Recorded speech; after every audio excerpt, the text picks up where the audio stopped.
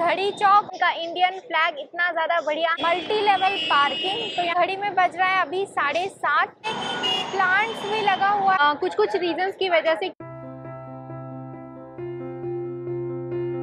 Hello everyone and welcome back to my channel तो अभी मैं आ चुकी हूँ रायपुर के रेलवे स्टेशन एक्चुअली मैंने रायपुर सिटी व्लॉग बनाया था, जिसमें मैंने डे व्यू आपके साथ शेयर किया था।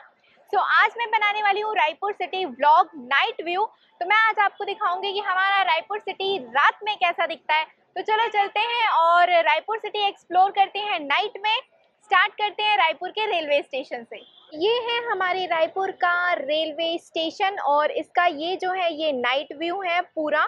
सामने ऑटो स्टैंड है और यहाँ पे लिखा हुआ है रायपुर शाम के सात बज के चार मिनट हो चुका है तो मैं नाइट व्यू स्टार्ट कर रही हूँ, इसलिए शाम को सात बजे से स्टार्ट कर रही हूँ। देख सकते हो हमारा रेलवे स्टेशन का इंडियन फ्लैग इतना ज़्यादा बढ़िया हवे में लहरा रहा है और बहुत ही ज़्यादा खूबसूरत लग रहा है अच्छा लग रहा है। रेलवे स्टेशन के सामने यहाँ पे बहुत सारे होटल्स हैं, जिसकी लाइट अभी जल रही है तो रात हो गया तो इसकी वजह से सारी लाइट्स ऑन हो चुकी है। ये है रेलवे स्टेशन का फ़ेमस सर्वधर्म मंदिर, जो कि बहुत ही ज़्यादा अच्छा लग रहा है।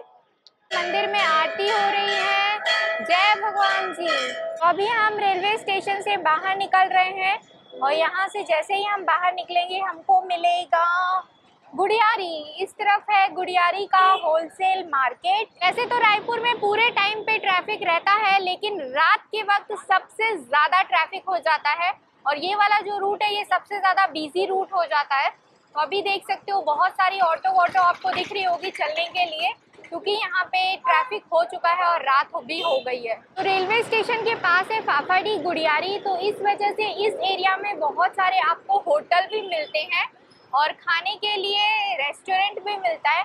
तो अगर आप रायपुर आते हो तो सबसे पहले आपको इजी वे में इसी लोकेशन पे होटल्स मिलेंगे। जैसे देख सकते हो होटल रायपुर इन यहाँ पे है और इस तरफ़ है होटल रंजीत। यहाँ पे भी कम कम रेट्स में होटल मिल जाता है। सिग्नल अभी हमको मिल गया है ग्रीन तो अभी हम फट फट से अपनी गाड़ी निकालेंगे और चलेंगे आगे। और इस तरफ़ से भनपुरी जाने का रूट है। फाफड़ी चौक से आगे आते हैं तो उसके बाद हमको मिलता है देवेंद्र नगर। तो अभी हम यहाँ से आगे जाएँगे तो हमको मिलेगा देवेंद्र नगर चौक। है होटल बेबीलोन इन ये ये है देवेंद्र नगर चौक। रेट जा रहे हैं, यहाँ से सीधे जाएँगे तो हमको अंबेडकर हॉस्पिटल मिलेगा मेकाहारा, जो कि सबसे बड़ा गवर्नमेंट हॉस्पिटल है। ये है पंडित जवाहरलाल नेहरू स्मृति चिकित्सालय, महाविद्यालय रायपुर। ये मेडिकल कॉलेज भी है और मेडिकल हॉस्पिटल भी है। अंबेडकर मेकाहारा के नाम से जानते हैं। तो ये है केंद्रीय जेल रायपुर का, और यहाँ की मुंगोड़ी बहुत फ़ेमस है, जो साइड में बनती है।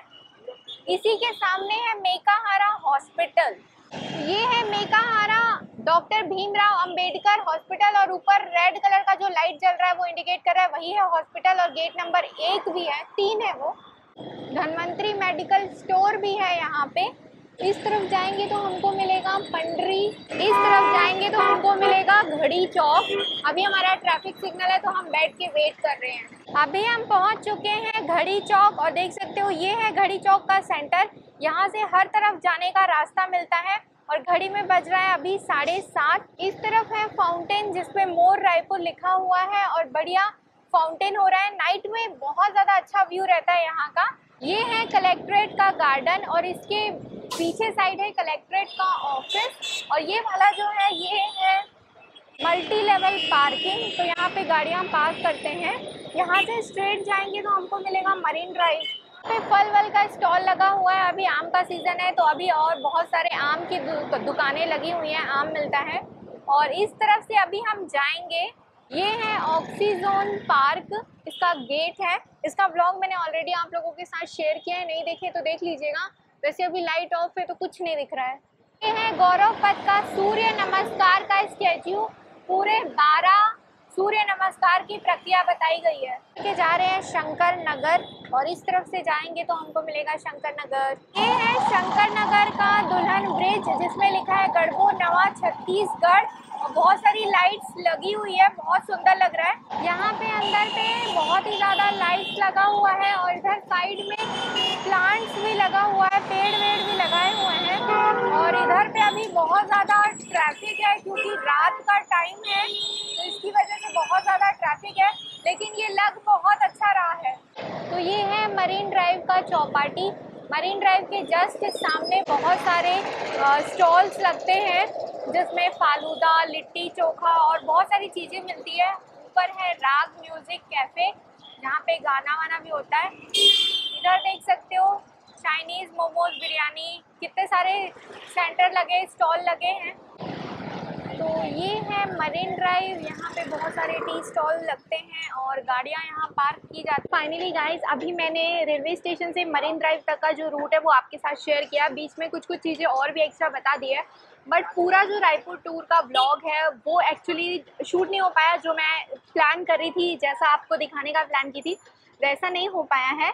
Uh, कुछ कुछ रीजंस की वजह से क्योंकि लाइट्स वाइट्स कुछ समझ नहीं आ रही है तो मुझे खुद को नहीं अच्छा लग रहा है। इस वजह से मैं फ़िलहाल रायपुर सिटी ब्लॉग यहीं पे एंड कर रही हूँ। मे भी मैं नेक्स्ट टाइम ट्राई करूँगी आपको अच्छे से दिखाने के लिए। सो so, अभी मैंने आपको जितना दिखाया आई होप आपको पसंद आया होगा। अगर पसंद आ गया है तो प्लीज़ वीडियो को लाइक कर लेना और चैनल को सब्सक्राइब कर लेना। तो मैं मिलती हूँ आपसे नेक्स्ट टाइम तब तक के लिए बाय बाय